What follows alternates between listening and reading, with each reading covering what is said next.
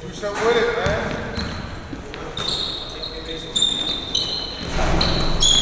Oh, and one, and one. Yeah, big boy.